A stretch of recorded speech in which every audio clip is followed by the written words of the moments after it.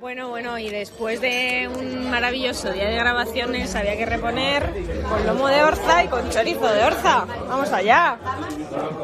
Bueno, bueno, bueno, y un poquito de sepia a la brasa, lechuga y estos champiñones no sabéis lo bien que huelen.